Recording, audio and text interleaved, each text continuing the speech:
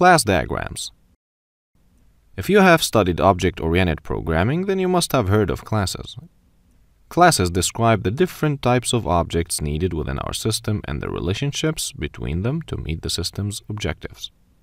A class diagram shows a collection of classes, interfaces, associations, collaborations, and constraints. Class diagrams provide a wide variety of usages.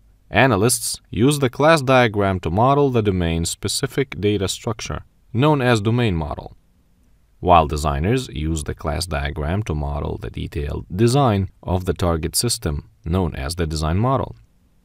Class diagram is a static diagram, meaning that the class diagram represents the static view of an application while it's not running. In a class diagram, each class acts as a template or a blueprint for a type of object that can exist in the system.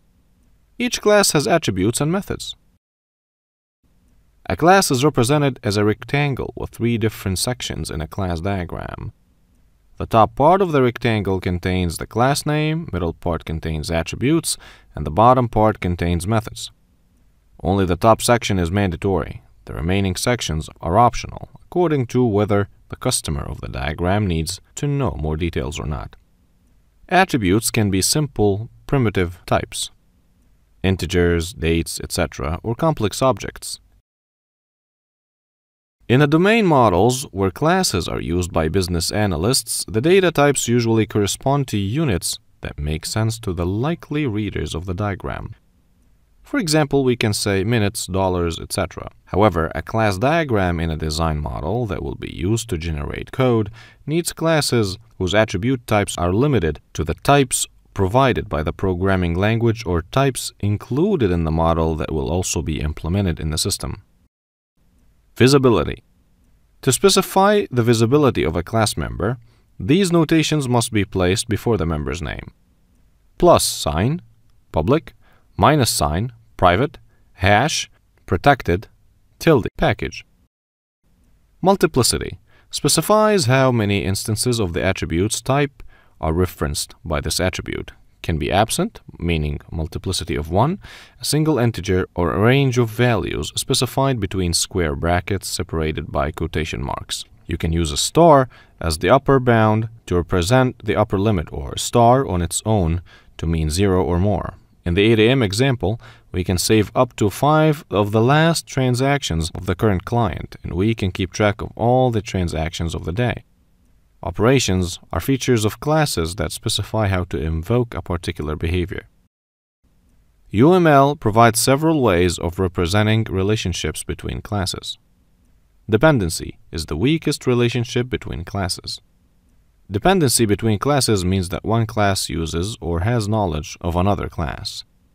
Dependencies are typically read as uses A, for example. In the sample UML class diagram shown, the class customer uses the class ATM card reader. The customer doesn't need to keep track of the card reader after that anymore. It simply uses it when it's needed and then forgets about them. Association is a broad term. Any class has any relationship with another said to have an association with it. Association includes just about any logical connection or relationship between classes. Associations are typically read as has a, for example. If you have a class named ATM card reader that has a reference to the currently inserted ATM card, you would say ATM card reader has an ATM card. You model association using a solid line. Aggregation. Unlike association, typically implies some sort of ownership, aggregation also refers to forming a particular class due to one class being aggregated or built as a collection. Aggregations are usually read as owns A or contains A. For example, if you had a class named session, that session stores are the current transactions done by the customer during that session. You show an aggregation with a diamond shape next to the owning class and a solid line pointing to the owned class. Composition Composition represents a very strong relationship between classes. It's used to capture a whole part relationship. A composition relationship is usually read as is part of or consists of, for example. If you say that an ATM in your system must have a card reader, you can represent this with a class named card reader that is part of a class named ATM. You show a composition relationship using a filled diamond next to the owning class and a solid line pointing to the owned class. Generalization Generalization relationship conveys that the target of the relationship is a general or less specific version of the source class or interface. For example, the class transaction is a general version of the classes named deposit transaction and withdraw transaction.